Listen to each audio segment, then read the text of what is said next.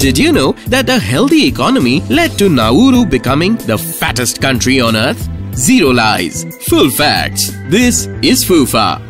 Nauru, a small country in the Pacific Ocean, is the fattest nation on earth with around 94% of its population being overweight, including around 72% suffering from obesity. Shockingly, this booming weight is a result of a boom in their economy. How, you ask? Prior to their independence in 1968, locals indulged in fishing and gardening and a regular healthy diet. But the scenario changed drastically post their independence when mining activities increased in this phosphate rich region. The residents became wealthy and many didn't feel the need to work. Also, the lack of arable land led to an increase in the import of processed food, which is high in fat and sugar. Eventually, a prosperous population leading an unhealthy lifestyle led to Nauru becoming the fattest place on earth. And that is the big fat truth. For more such facts, like, share, subscribe, and of course, share your favorite FUFAs with us in our comment section.